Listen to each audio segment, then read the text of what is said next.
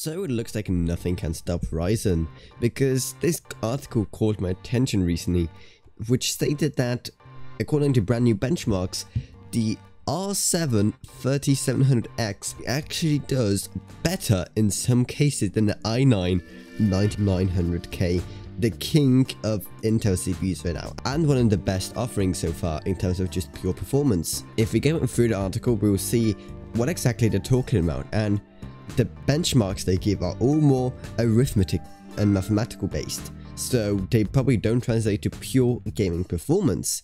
So even though, sadly, for the price of a 3700X, although we may still not get 9900K performance in things like gaming, in workloads, that is a completely different story, potentially. So does that mean that there's basically no hope for Intel anymore? Well, we have to see exactly what they can do. Because right now, Intel has to do something. The 9900K is simply not worth it anymore.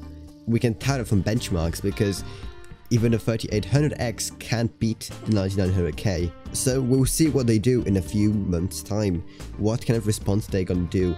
But for now, essentially there's no point in getting a Intel CPU when the brand new Ryzen 3000 feature way better speeds and support PCIe Gen 4 which allows for much faster NVMEs and more awesome features like that that are coming very soon.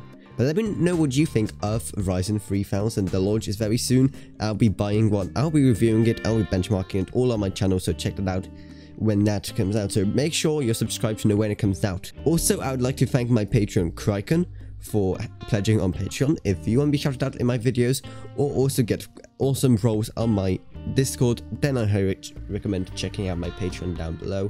And I now even offer channel reviews for anyone pledging $5 or more. Oh, also, yes, I have a Discord now, so go check it out in the description below as well, where you can ask me questions, where you can easily recommend new videos I should do, and talk with other awesome people who enjoy my content. But anyway, I hope you enjoyed this video. If you did, remember to subscribe, like, whatever, and I'll see you all in whatever I make next. Goodbye, everyone. Goodbye.